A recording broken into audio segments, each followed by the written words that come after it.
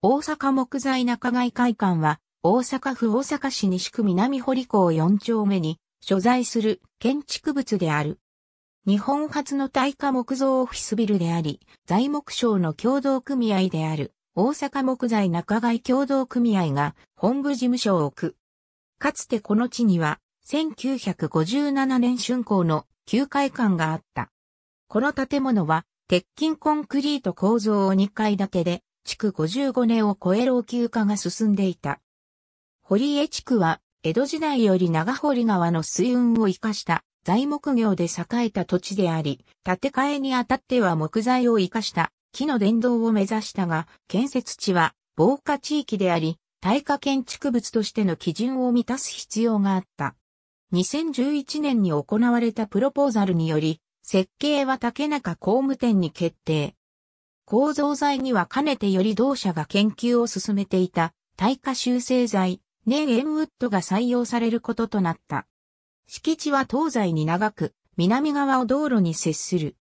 耐震壁活防火壁となる北側外壁及び水害を考慮して1階は鉄筋コンクリート構造とされ、南側は旧会館以前からある桜の木を囲うようにこう描いたファサードで大きな軒びさしを持つ。この日差しは雨や直射日光から木材を守るとともに一万一の火災時には上階への炎症を抑制し、避難経路ともなる。年々ウッドは外側の唐松材の燃え、大層、その内側の唐松材とモルタルを交互に配した燃え止まりそう、中心の唐松材の荷重支持部の三層で構成される修正材である。火災時には燃え、大層が断熱性の高い炭化層となり、燃え止まりそうで熱を吸収して燃焼を停止させ、荷重支持部は燃えずに残る。これにより、1時間の耐火性能を持つ。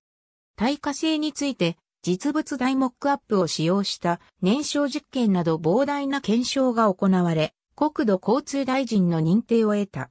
館内には燃焼実験に使用した年塩ウッドが展示されている。年塩ウッドは衝撃やコンクリートに含まれるアルカリ性の水に弱く、施工にあたっては、養生に最新の注意が払われた。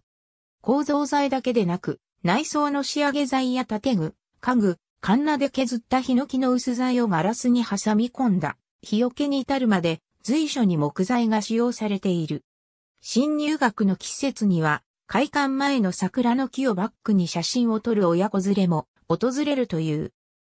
本会館は2013年度に大阪ランドスケープ賞2013大阪府知事賞及びニューオフィス推進協会主催の第26回日経ニューオフィス賞ニューオフィス推進賞2014年度に日本建築家協会主催第14回事案環境建築賞入賞第34回大阪都市景観建築賞審査員特別賞2015年に日本建設業連合会主催の第56回 BCS 賞日本建築学会作品選賞を受賞している。ありがとうございます。